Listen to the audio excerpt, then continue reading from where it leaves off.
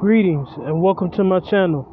In this video, I'll be discussing how Heavy D is also Sinbad. And as you can see, the side-by-side -side pictures on Google tells it all. Whenever you see side-by-side -side pictures on Google, that means that character is also that same character. Slash, they share a connection. And I'd like to thank Joanne in the comment section for this great find right here. She was right. Sinbad is Heavy D. And when I did the numbers, it, everything came up and it was good. This world that you see is a stage, layers upon layers of deception. And we're all being deceived by these celebrities that play multiple roles, whether it be male or female. All celebrities are both male and female. They are inverted. Like Conscious X says, having both male and female body parts. And I know what you all saying. I may sound crazy or I'm on something or something like that, but I'm telling y'all the truth. What they do is they hide the truth in plain sight. That's what they do best. They get rid of their karma.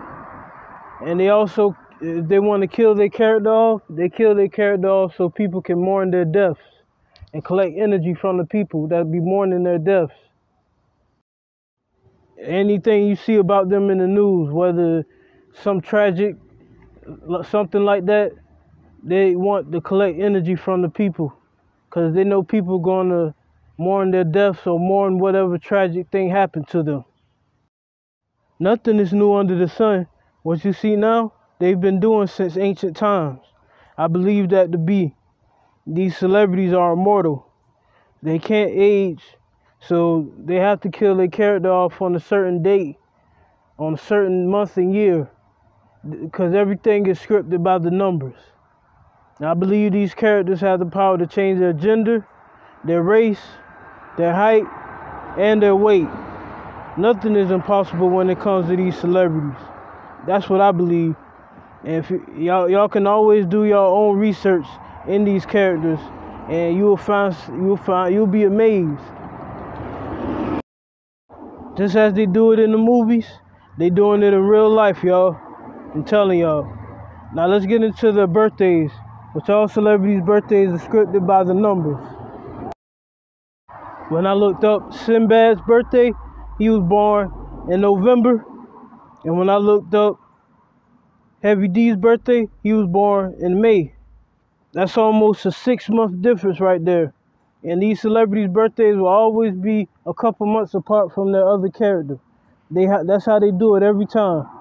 Now let's get into the gematria, changing their names into numbers in order to find a match. When I typed in David, I got 19 in septenary.